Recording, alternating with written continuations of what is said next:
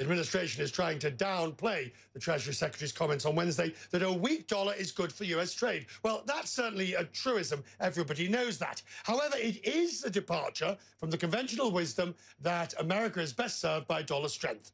Here in Davos, Mnuchin tried to clarify, saying he's not concerned about day to day fluctuations.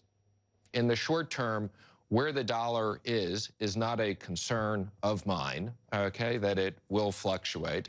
That uh, in the short term, there's obviously benefits uh, and, and issues with a, a lower dollar.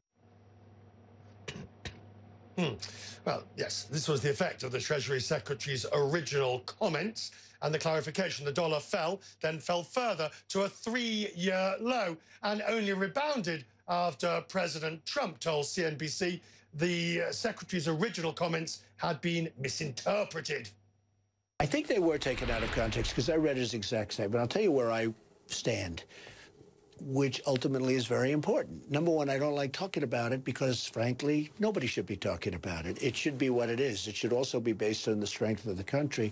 We are doing so well. Our country is becoming so economically strong again, and strong in other ways, too, by the way, that the dollar is going to get stronger and stronger. And ultimately, I want to see a strong dollar.